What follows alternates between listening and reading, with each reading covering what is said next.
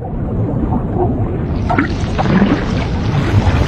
The pearlfish, a fish with a unique taste. While other animals are still troubled by evading predators, pearlfish has found a special place to hide. Due to their small size, they take advantage of this to slip into other animals' asses, and those victims are sea cucumbers. Then, the pearlfish quietly enjoys the scenery inside the sea cucumber's gut. Sea cucumbers' respiratory systems are connected to their butts. When they breathe, this hole, which is both its mouth and its ass, opens opens and closes, much like a beautiful rose. Of course, this unique body structure has attracted